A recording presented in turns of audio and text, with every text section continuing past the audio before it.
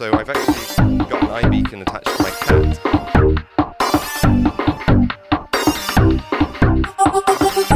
Ruby is alive. Ruby's not going in. Oh, I want to drink for developer happiness.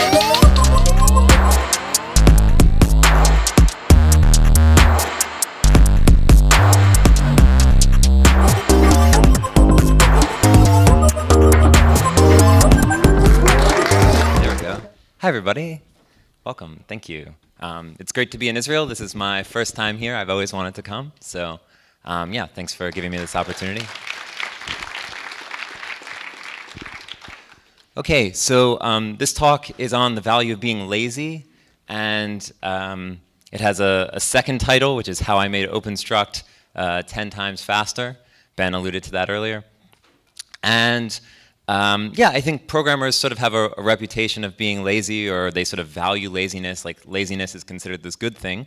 Um, because basically, if you think about what it means to be a programmer, uh, if you're not lazy, it means you'll basically do a lot of menial work. You'll, you'll do things, uh, repetitive tasks over and over again. But if you're lazy, you'll just write a program that does those tasks for you.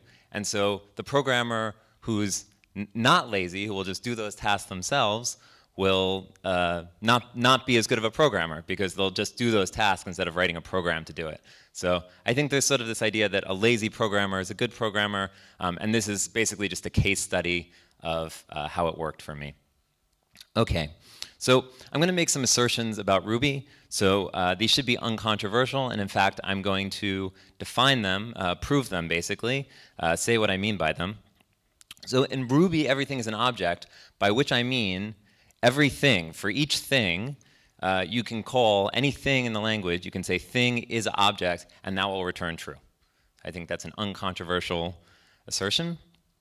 Um, my next assertion is that every object has a class, which is to say that for every object, object responds to the method class. Right? This will be true for everything in Ruby. And so taking these two things together, because everything is an object and every object has a class, then we can say everything has a class as well. And um, if you take that one step further, then we can say in Ruby that uh, classes, because classes are things, all classes have a class. Um, so in this case, the object class responds to class, and the object's class is class, right? So these are some uncontroversial assertions, uh, hopefully, uh, and they lead to a very nice conclusion. Everything is an object, uh, everything has a class, and therefore classes have a class. Okay, uh, so you can create new objects from class. That's really useful.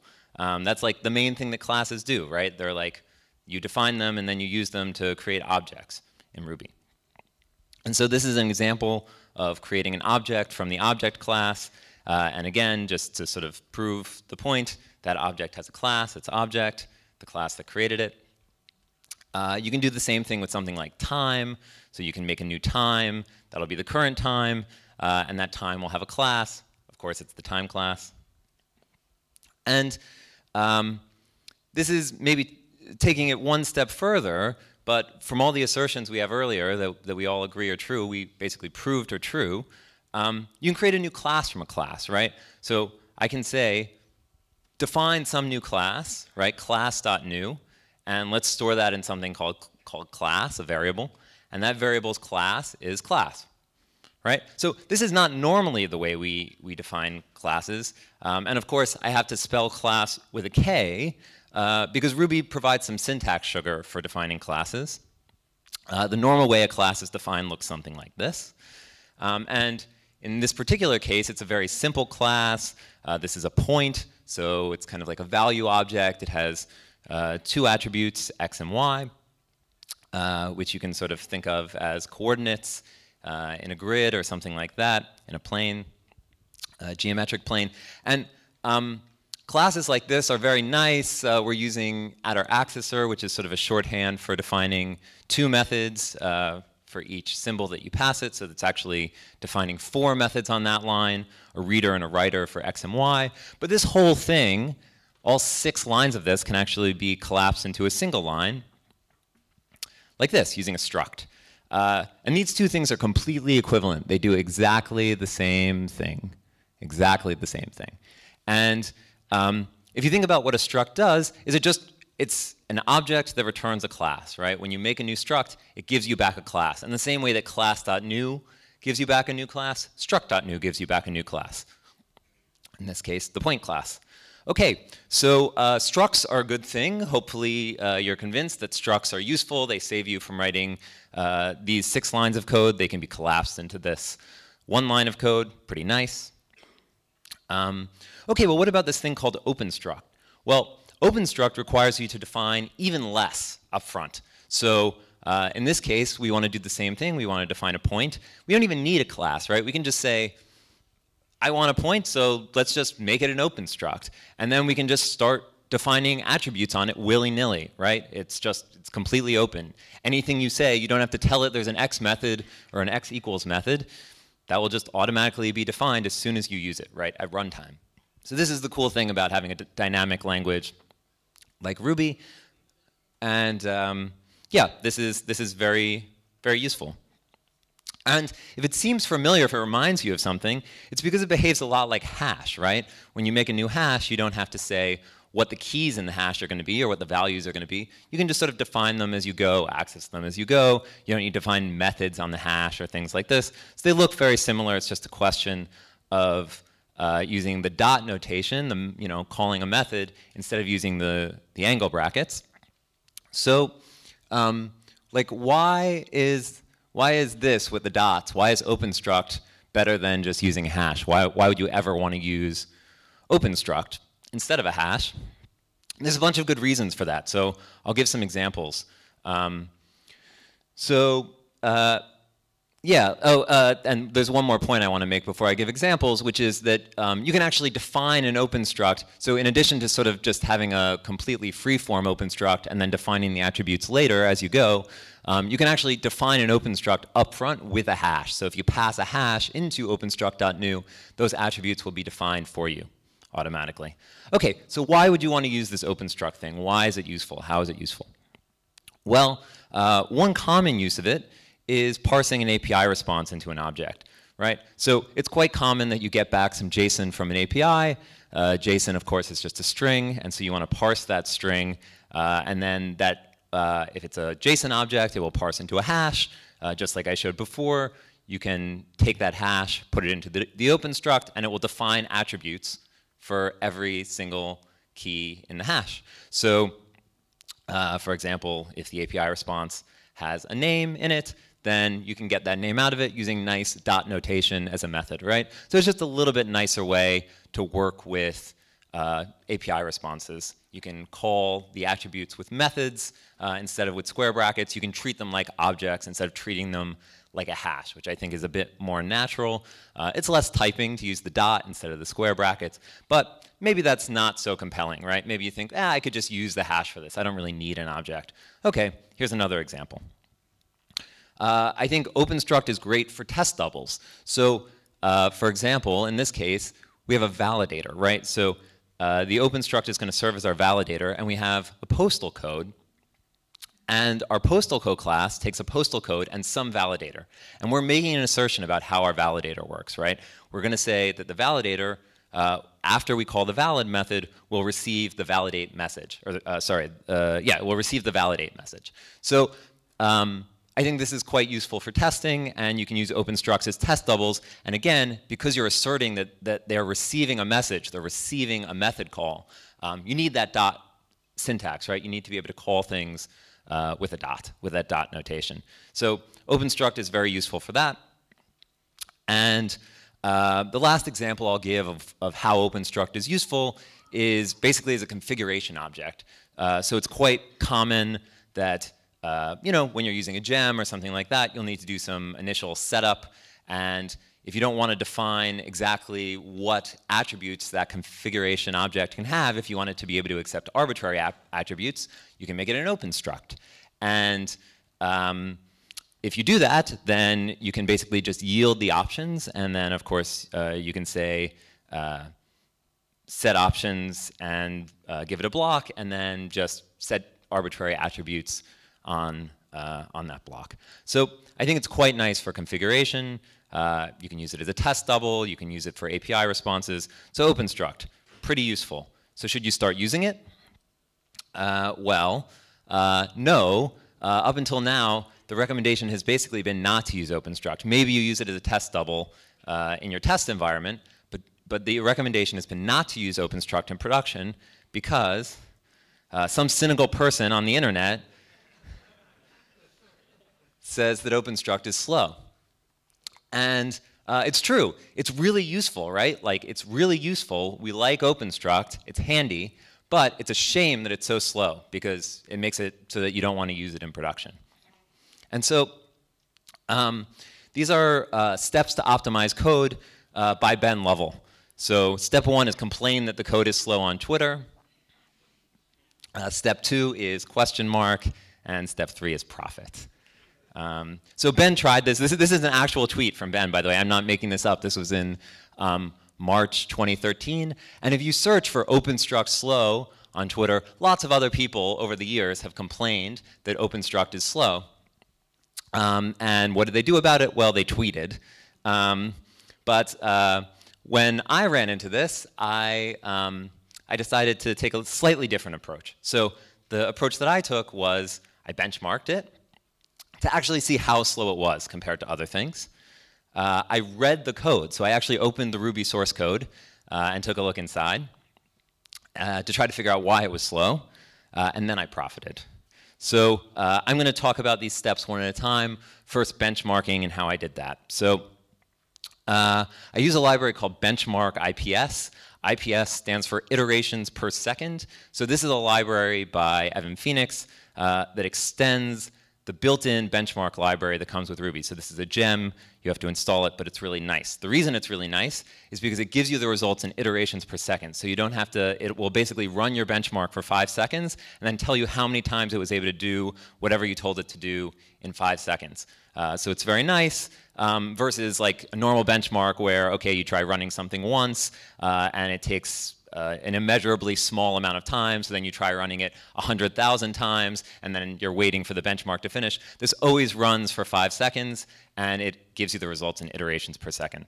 Uh, so it's quite nice uh, benchmark library, and you use it like this. So you basically just define the two or more functions that you want to benchmark. In this case, I have a struct function that uses the struct. I define it once at the top, uh, and then I define an open struct that does essentially the same thing. These are the results. So uh, struct is basically 35 times, almost 35 times slower. OpenStruct is 35 times slower than just using a struct. Uh, and that's bad. That's really slow. That's a lot slower, uh, probably unacceptably slow uh, for most applications. And so, uh, again, let's, um, you know, the, if I was a cynical person, maybe I would just tweet about it and leave it at that. Um, but instead of, of just tweeting about it, I decided to read the code. And uh, you might think because it's, it's Ruby code, because it's part of the actual Ruby language, uh, and the Ruby language is not written in Ruby, it's written in C, that I would have to start reading C code. Um, and, and maybe that's what was scaring people off from actually opening it up. But it turns out that the Ruby standard library, most of the Ruby standard library, is actually written in Ruby, not in C. Um, and so it's actually not so scary to read. Uh, a lot of the code is really nice. It was written uh, in large part by Matz uh, and some of the other authors of, of Ruby. So it's very uh, idiomatic Ruby code, I guess almost by definition. It was, a lot of it was written by the author of Ruby. And so it uses Ruby in the way that Ruby was sort of intended to be used. You can learn a lot by reading Ruby's standard library code, and it's Ruby. It's not C, so it's not so scary. Um, so let's take a look at the code. So um, this was what initialize, uh, the initialize method in OpenStruct looked like. Um, and it was slow. Why is, why is this slow? Okay, well, let's just go line by line. So initialize, okay, it takes a hash. The hash can be nil, that's fine. Uh, first line sets uh, an instance variable called table to an empty hash. That is not slow, right? Uh, setting, setting an instance variable to an empty hash, that's got to be fast. Okay, no problem. Uh, and then it says if you pass in a hash, right, if you're initializing it with some, some values, then iterate over those values, right? So, you know, in this case, like the point example, I was passing in two, x and y, so for each pair. Uh, there's a key and a value. So I said like x is 0 and y is 1 or something like that. Uh, the next line takes the key and converts it to a symbol. Um, again, that's got to be got to be fast, right? That's that's not slow. Uh, then it stores the value in the table with the key. Again, totally reasonable. Just storing something in a hash, the value. Uh, that can't be slow. Um, so then I got to this line, new ostruct member k, right? And a, a, reminder that k here is the key that you passed in. In the point, it would be either x or y. So um, that's got to be the slow line, right? Like that's got to be the bottleneck. Everything else here is just really standard, straightforward Ruby code. Uh, and even if it was slow, I wouldn't know how to optimize it, right? Like at table equals empty hash. Like I don't know how to make that faster, right? But like this new ostruct member thing, maybe that's slow. So let's see what's what's going on in there. So uh, this is this is the definition of new ostruct member. Uh, so you pass in name, which is remember one of those keys. Uh, it converts it to a symbol again in case it wasn't a symbol for whatever reason. Uh, and then it says if if this, if the object, if the, the struct doesn't already respond to this key, then we're going to define two methods, right? The attribute accessors, a reader and a writer. And you can see how it defines them. And um, yeah, so this is basically like metaprogramming, right? We're like defining methods dynamically. And uh, it turns out that this is quite slow. And the reason why it's slow, okay, in my point example, I only had two keys. I only had X and Y. But you can imagine in something like an API response, uh, where you're parsing a big JSON object, that you're going to have maybe 50 keys or 100 keys or something like that. And so it's going to go through, and for each key, it's going to define two methods. So if you have 100 keys, this is defining two methods dynamically when the object is created, right? This is called from initialize, right? So when, uh, when, when the object is created, if you have 100, uh, if you have 100 keys, this is going to define 200 methods on that object dynamically. Uh, so so th that's basically why it's slow. Uh, that's, that's kind of the, the long story short. And then um, the other thing I noticed was I looked at method missing, right? So OpenStruct also defines method missing, and uh, this is a slightly simplified version. I, I, removed a few lines so that it would fit on the slide, mostly error handling, but this is sort of the core of it. So basically with method missing, it looks to see is it, an, uh, is it a writer or is it a reader, okay? Uh, does, it, does the method end in an equal sign, right? Are you saying x equals 1, or are you saying x, right? So if you say x equals 1, that's that first branch, right? If the name, uh, it uses a regular expression to see if it ends in an equal sign. Uh, and if that's true, it calls this new ostruct member thing uh, and sets that value in the table. So this is basically uh, defining a method. If you call a method, that method isn't found, it defines that method and then gives you the return value. And then in the other case, uh, the else, or else if, uh, then it's a reader. Um, and in the case of the reader, it does the same thing, right? So we're always calling this new ostruct member. So basically, my intuition was, if you go back to the beginning, to this initialize thing, we're calling this new ostruct member up front for every single attribute that this object gets initialized with. So again, if you get a, a JSON response with 100 attributes, then uh, it's going to create 200 methods up front. But what if you only want the user's name, right? You're parsing this into an open struct. You're defining 200 methods. Maybe you're only going to call one of those methods, or 10 of those methods, or five of those methods, right? So let's not define those methods here in initialize when the object is first created. Let's just do it when we call the method, right? We can do that in Ruby. We have method missing, and we're already doing it. So my patch to make OpenStruct 10 times faster was this.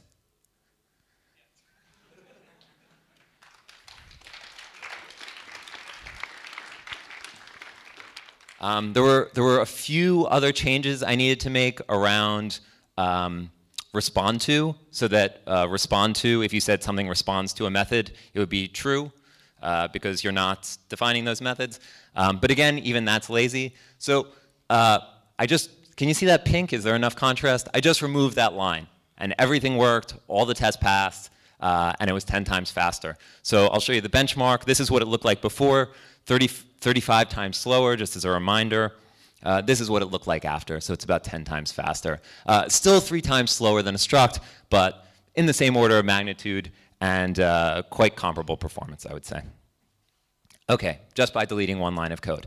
Now, that got me thinking, like, um, okay, and this is the pull request that I made to Ruby. Uh, I included the benchmark. Um, it got a lot of thumbs up and eventually got merged. Um, and then, uh, of course, after I did that, so this is like, I searched on Twitter for OpenStruct slow and responded to everybody with like, hey, I fixed that for you, um, and uh, a link to the GitHub pull request. And then um, like Andy, my friend Andy here responded like, I just looked at your pull request and saw the diff and was like, whoa. So yeah, it just removed one line. Um, so that got me thinking like, um, like this has been this way for a really long time. How long has it been this way, right? Like there, there's been years that it's been 10 times slower than it needed to be. Anyone could have removed that line. Anyone could have like taken the time to read the code, figure out what was going on, right? Like we just did it in 20 minutes. So uh, like why didn't anyone do that? Or how long has it been since anyone did that? So I did a, a reverse log of uh, the ostruct.rb file that defines OpenStruct. Uh, and I found out that OpenStruct was written by Matz originally uh, in 1998. Uh, I think it was released in Ruby 1.2. So unless you're using 1.0, uh, basically OpenStruct has always been a part of Ruby uh, for almost uh, anyone who in this room, I, I suspect, who's been using it. Um, and yeah, like, you know, Matz could have done this in 1998. Uh, somebody could have done it in 1999. Somebody could have done it in 2000. Nobody did it until uh, Ruby 2.3, which is coming out uh, December, later this year. Um, that will be the first version of, of Ruby with a lazy OpenStruct. Uh, and uh, a significantly faster OpenStruct. I would say an OpenStruct that you could defensibly use in production uh, just by removing one line of code. So I think that's pretty cool. Um, so let's talk about this concept, the concept that allowed this optimization to take place, this concept of lazy evaluation, because I think that's a pretty cool concept. So uh, it's a concept that comes from languages like Haskell, um, and what it means is that expressions aren't evaluated when they're bound to variables. Um, but evaluation is deferred until the results are needed by other, other parts of, uh, by other computations, right? So the idea is, instead of defining these methods up front in the case of OpenStruct, uh, let's define those methods only when we need them. Let's be lazy about it. And uh, in Ruby 2, lazy enumerable was added. So Haskell is lazy by default. Ruby is not lazy by default, and uh, if Ruby 2 made uh, Ruby lazy by default in the way that Haskell is, it would have broken all your programs. Um, so instead, Ruby added this cool thing called lazy enumerable. And it works just like regular enumerable, um, but it's lazy, meaning that the results aren't evaluated uh, when, the when, the, when the variable is bound. It's only evaluated when you ask for results. So I'll show a few examples of what that means. So this is an example of um, so let's say you want to find the first five perfect squares that are over a thousand, right? So that's kind of a weird thing to want to do, but maybe you want to do that. So what I do is I create a range from one all the way up to infinity, and uh, I say that this range is lazy. It's a lazy enumerable. So uh, I store that in lazy integers, and then I say lazy integers dot collect, and then I square the integers, now, if this wasn't lazy, this program would just get stuck on that line, squaring every integer from 1 all the way up to infinity, right? But because it's lazy, it's not going to do that.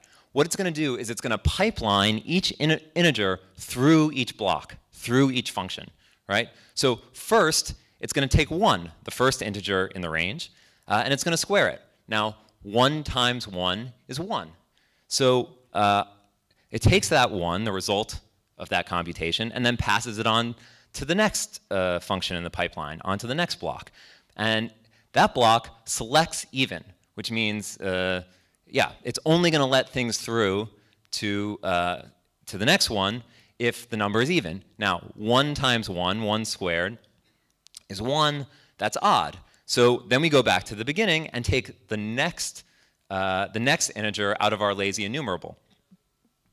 Okay, so then we get 2. So 2 squared is 4, right? 2 times 2. Uh, that goes to, uh, goes to the select. Is it even? Yes, it's even. It's selected. But then we reject anything that's less than 1,000, right? So this keeps going, uh, pipelining through one value at a time until we, until we get to 5.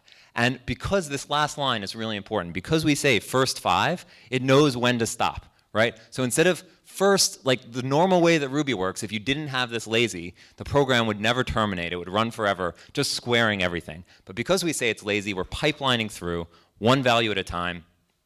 Uh, and then we stop when we get to five, right? You have to give it some termination condition, uh, otherwise it'll, it'll go forever, right? If you replace that first five with 2a, 2 array, for example, okay, then it's gonna go forever. But as long as you have something where you say, okay, I just want the first five, that'll work. Uh, I'm gonna show a few more examples of this, uh, maybe more practical ones. This one's kind of contrived. Okay, um, so let's say you want to find twin primes. Just a, a, reminder, twin primes are prime numbers that are just uh, two apart, right? So they're sort of next to each other on the number line, just separated by two. Um, so you can say, uh, you can define a lazy prime. So prime is an enumerator. Uh, just by calling .lazy on it, you get a lazy enumerator, uh, and you can select all the primes where x minus 2 is also prime. Uh, then you can sort of map those into pairs uh, and take the first five or first 10 or whatever. This is a very efficient way to calculate lazy primes. Um, there's even a more efficient way to do it, actually. So uh, you can actually define your own enumerator. Uh, I call this one pairs after first. And what this is going to do is it's going to yield the first value. Um, uh, yeah, so if uh, it's going to yield the first value, the first prime number, and then after that, it's going to give you two of each, right? So the idea is like uh, the first prime number, uh, I guess, is 2, and then, or 1, I don't know, it depends how you count it. So it'll give you, let's say it's 2, so it'll give you 2, and then the next prime number is 3. So it'll give you 3, 3, and then the next prime number is 5, so it'll give you 5, 5, 7, 7, 11, 11, and so on. Uh, so this is just an enumerator that's yielding those values, 2, 3, 3, 5, 5, 7, 7, 11, 11. Okay, once you have that, you can do an even more efficient version. So you can basically slice up those pairs uh, into slices of two with each slice, again, just using the, the great enumerable functions that are built into Ruby. So I can say each slice, um, and what that's going to do is that's going to take those pairs, like 2, 3, 3, 5, 5, 7, 7, and split them into two. So it's going to be 2, 3, 3, 5, 5, 7, uh, 7, 11, so on. Um, and then you can really efficiently say, okay, I have these pairs, just select the ones where x plus 2 equals y. Right? So 3, 5, for example, x plus 2 equals y, 7, 11, not true. Uh, super efficient way to get twin primes using lazy evaluation. Uh, here's another example. So uh, let's say you want to find the first, uh, the first 10, or the next 10, I should say, Friday the 13th. So we have a date range that's starting at today, going to the year 9099. It could be anything. I was running out of room on the slide, so I just made it 9999, um, far in the future. And I'm going to select all the days that are 13, uh, throw away anything that's not 13, throw away anything that's not Friday, do you get that reference that Freddy Krueger, that you have Friday the 13th in Israel, that made it here? Yes? Okay, I see some heads nodding. Good. Uh, I'm glad this example makes sense. We have some Friday the 13th fans in the audience. Okay, great.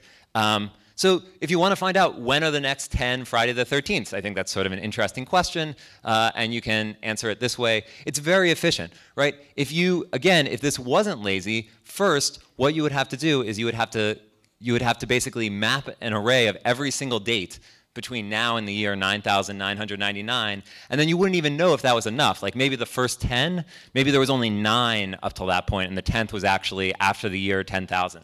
So this is a really nice way to, to solve the problem, I think.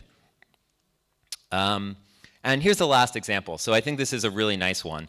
Um, if you wanted to find a string in a text file without reading that entire file into memory, right?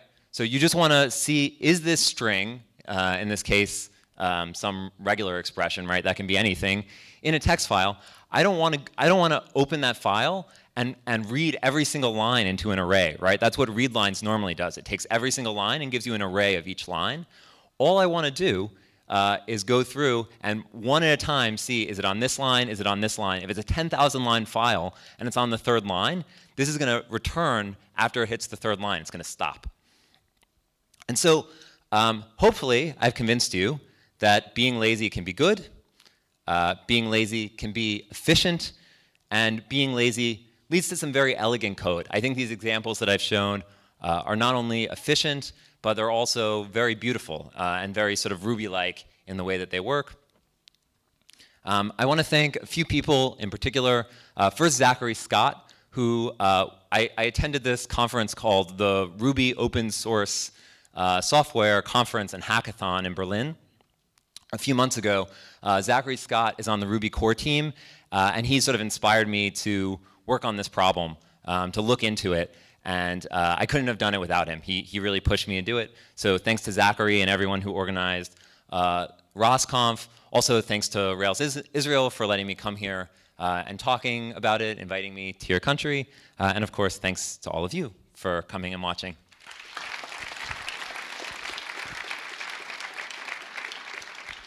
Uh, so that's all I've got. I don't know if there's time for questions. I think, yeah, okay. Yeah, if there's questions, happy to answer. Maybe you can run with this mic and I can use that one.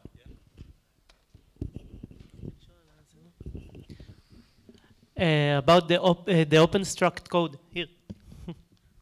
Who, where are you? First oh, hi about the OpenStruct code, yeah. uh, we saw that uh, they have also met method missing and also initializer. So why did they have the method missing? Did they, didn't the initializer uh, calling the, the method cover, its, cover all the use cases? Uh, good question. So with OpenStruct, you're allowed to define, um, you can define attributes up front, but you can also define them arbitrarily afterwards. So I can say uh, OpenStruct.new x colon 0, and that will give you an OpenStruct with an attribute x. But then later on, I can say that object, whatever it's called, point, uh, y equals 1 or whatever. So you need both. Um, yeah. Any other questions? Uh, yeah.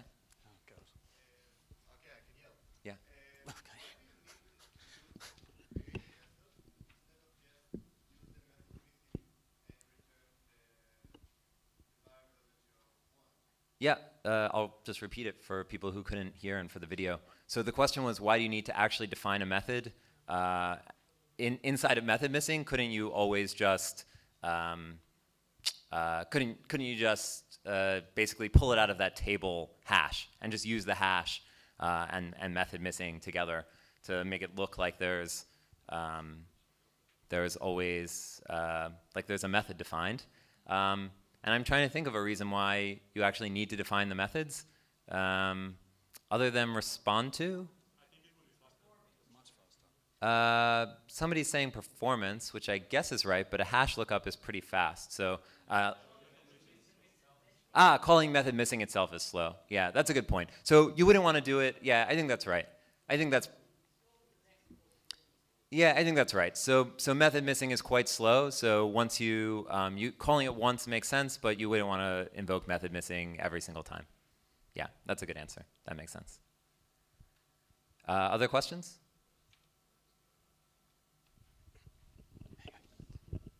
Uh, yeah. Uh, so in some scenarios, if if if uh, someone is accessing all the attributes of the of, his, of this uh, OpenStruct object, uh, your your improvement actually maybe it's slower because the that's such a good question, man. Method like missing is like, you know, in in the initializer don't have method missing, so. Um, this is hard to see. Ruby, Ruby. Uh, yeah. So somebody asked that question on the GitHub issue. Um, uh, maybe the internet's going to be slow, eh? Okay, well, uh, I can do a little dance while this loads. Uh, no, you know what I can do while this loads, actually? I can plug um, my other talk. So later on this evening, I'll be doing uh, Ruby trivia uh, for those who are interested. So yeah, um, for people who are interested in uh, trivial things, um, things that don't matter but maybe are interesting, uh, yeah, you can come to that and answer answer some questions. Okay. Uh, let's see if it loaded yet. I can't. Ah, oh no. Terrible. Okay, the first question is totally out there. Um, uh, okay, so the answer, sorry, uh, I completely flubbed this. The answer to your question about uh, what if you access all the attributes is that uh, it's, it's uh, even slightly faster. There's no, there's no performance payment if you access all the attributes. So basically, that's like the worst case scenario. And in the worst case scenario where you have like 100 attributes and you're accessing all of them, like all of the readers and all of the writers, which seems very unlikely that you would be like overwrite, like initializing 100 values and then overwriting them all and then accessing them. But like if you do that, it's, it's identical performance. It's no worse. So uh, the reason I was trying to pull up the GitHub issue is because um, because I have uh, because I, I uh, proved that I had a, somebody else ask the exact same question as you on GitHub, and I benchmarked it and showed that it was no worse. So that was a big part of the patch getting merged because it was uh, even in the worst case scenario, it's uh, not a performance degradation. Okay, thanks everybody. Thanks, Erik.